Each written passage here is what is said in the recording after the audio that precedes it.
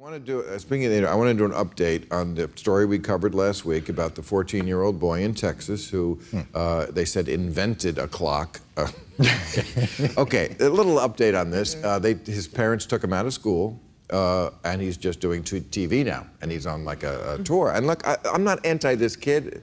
I hope this kid has a wonderful life and does great things. But the, the lib- mostly liberals, you'll like this, who have glommed onto him as a mascot are ninnies. Uh, because somebody showed that he did not invent anything. Show the tape of somebody that this was on the internet. It took 20 seconds for this somebody to do what this kid did. He didn't invent a clock. He took the guts out of a clock radio that he bought in the store and put it in a pencil box. Okay? This this is like pouring Cheerios into a bowl and saying you invented cereal. This Well, and then made it look like a bomb.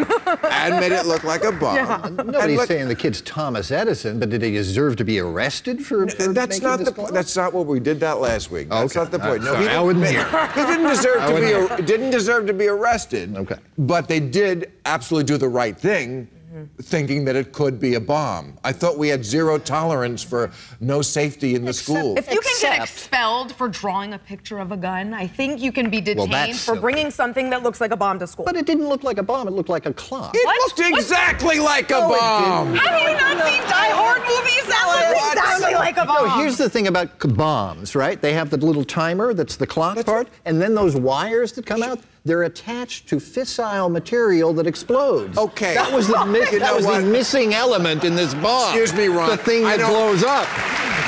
Nothing blew up. I don't notice all that when I see that hunk When of you- metal when there. you see a clock? You know what, Ron? Try to take that through airport security tomorrow and I see if you they could. take it. No, I think you oh, could. Really? It's a clock. It's It's a clock. It's a clock only because we were told it was a clock. and It's a by the way, it's only the guts of a clock. Mm-hmm, mm-hmm, yeah. Mm-hmm. Show the tape from Good Morning America. Here he is this week on Good Morning America. Do you have something with you? Can we see it? It's the motherboard of the entire media player. Have you always been fascinated with things like that and doing things like that, Ahmed? This isn't my first invention and it won't be my last invention.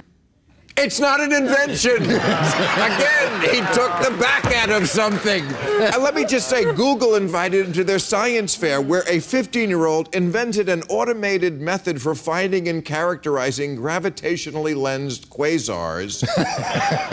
Yeah. And a 16 year old invented an inexpensive test for the Ebola virus. Well, he's only 14. He's only. Next year. I made a bong out of an apple. I was-